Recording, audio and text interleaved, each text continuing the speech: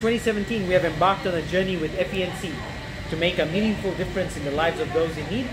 And I'm happy today to see that partnership continue and thrive as we hand over $10,000 to FENC, uh, FENC today. Over the years, our commitment to supporting FENC Fiji has grown stronger and the results have been very encouraging.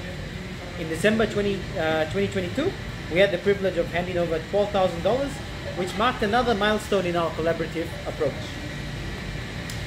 Uh, through relentless dedication and unwavering support of our Burger King customers, we have successfully raised an outstanding $110,000 to date.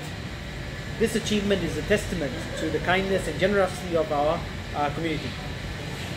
Our efforts to collect funds have been manifold, from charity, box, uh, charity boxes strategically placed across all our Burger King outlets to the exceptional response we received from our uh, BK Airside store in particular.